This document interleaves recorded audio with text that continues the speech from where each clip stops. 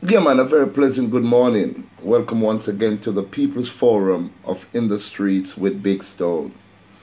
Today, I'm talking about the families of victims and the families of supposedly uh, people who created these victims, the person responsible for the crime. And I want to send a big shout out to my friend in New York because he was the one that kind of motivated this video. His name is Shahul Shakur Ben Yisrael. He's a engineer and he moves from town to town and fix different machines and so on and so forth. So this one is on his behalf. Ladies and gentlemen, I'm going to talk to you about the families, the victims' family, and I'm going to talk to you about the perpetrator family. Now, ladies and gentlemen, there's a lot of vloggers out there that I have a lot of respect for. I'm not going to call any names at this time. But there are also a lot of other vloggers that all they do is sit behind a desk. And when they sit behind a desk and they read from the newspaper, they're not really on spot on location, boots on the ground, to really understand the pain and the suffering that both sides, I'm talking about the victim's family and I'm talking about the perpetrator family, goes through. Yes, we hear of X amount of people being killed, and we hear of who did it or the situation that, are, that causes that situation to go down but we never get a chance to analyze and respond to how the families of both sides feel. Let's talk about the victim's family first. I've been to many funerals, many, many, many funerals of victims, people who have died as a result of murder. And ladies and gentlemen, it is a very, very sad situation to hear a mother speaks about her son, a father speak of his son, a mother speak of her daughter, a father speak of his daughter. And the pain of grandmothers and grandfathers and family members at the church, some people even fainting when they know that they'll never ever get a chance to speak to their loved ones again and it touches the inner core of my heart. It is a bad thing because I'm there, I'm there from the the wake to the setup and to the funeral. Even at the grave digging is very, very devastating for family members all over the world to fly in to come bury a loved one that has been murdered. I am there on the spot and I experienced that pain that the family goes through.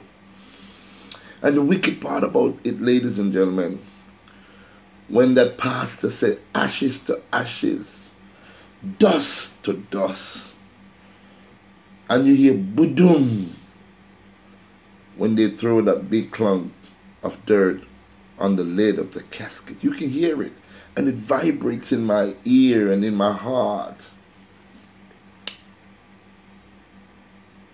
It's a very sad situation. So the family suffer from the victim. Let's move over to the other side now, the perpetrator's family. And I know a lot of people out there saying, ooh, for them, for them son and daughter do that crime, you know, them for dead, you know, all the whole family for dead, you know. And this and that, you know, mix up the entire family of just one person who did that horrendous act. They accuse the entire family of wrongdoing when in truth and fact, I have been there even before that son commit that horrendous act. I'll tell you of one situation, ladies and gentlemen. A father, I'm not going to call any name, he himself was a gangster. And sometimes the parents sucked the sour grape and set the children teeth at edge. But in this case, I've heard this father speak to his son, telling him that, son, I used to live a life of crime. I've done wicked things to people. But I seen the light and I said, I'm not going to do that anymore. Now I am a father and I start to have children. And I wouldn't want my son or my daughter to get mixed up in doing that what I have done. I've seen one particular father practically cry tears, begging his son to put that gun down, begging his son to step away from bad companies. The son wouldn't listen. And then I had to watch that father bury that son. The families on both sides suffer.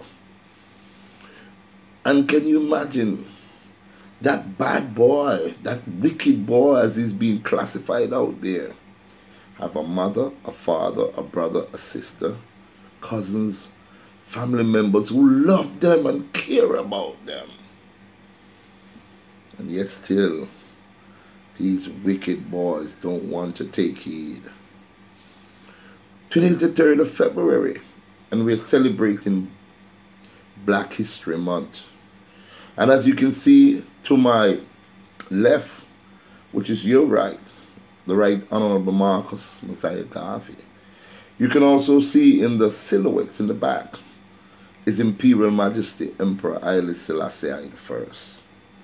And we have great, great, great black folks that we can celebrate their life and should be celebrating their lives this month.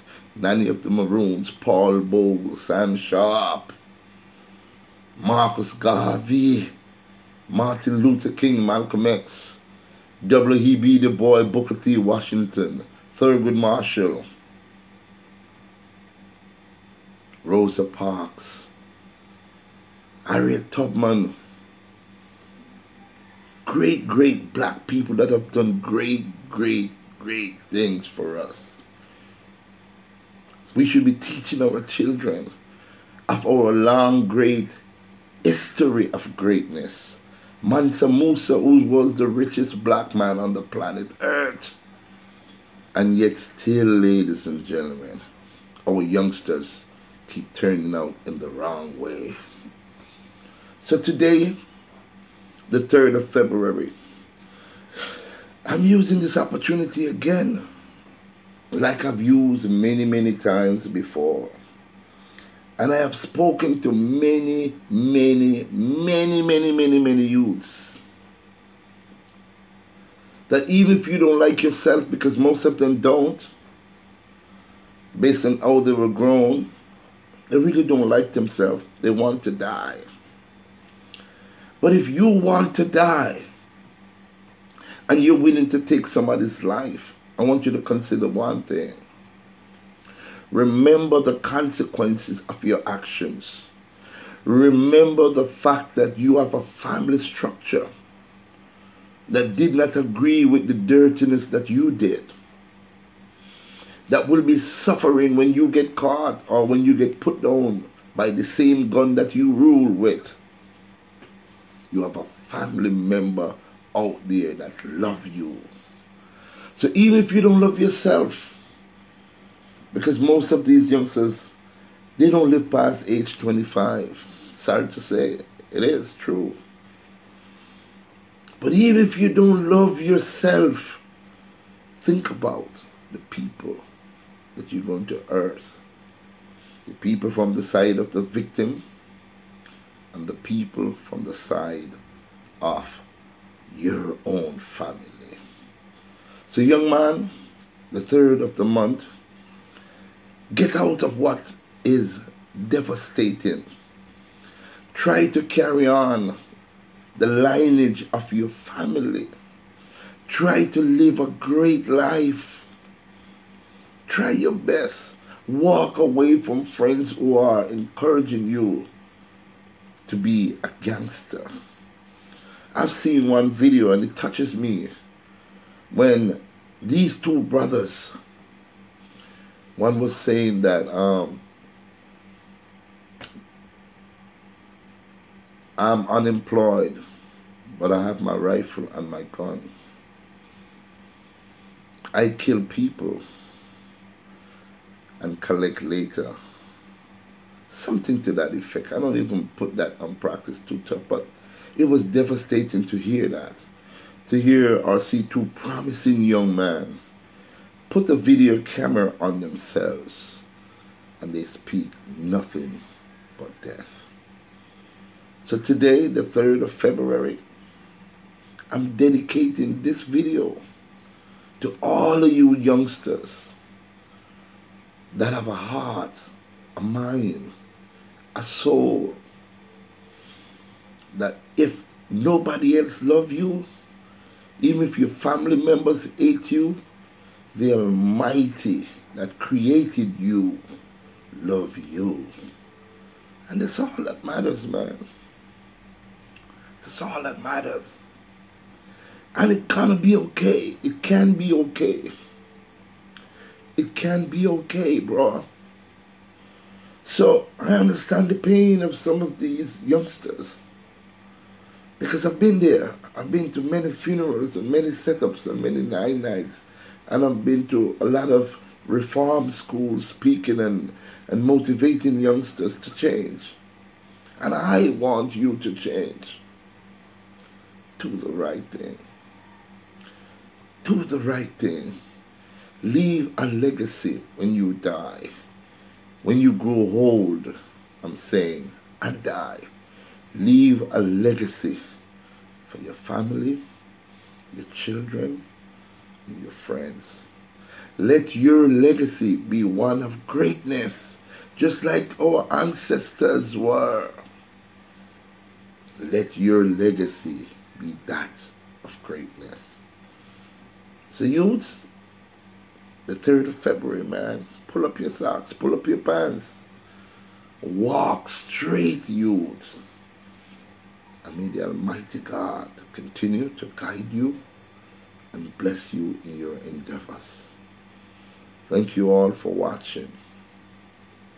And I do hope you can have a great Black History Month teaching and honoring our ancestors that have gone on before us. Thank you very much. Yokai, Yokai. Shalom, shalom. Rastafari.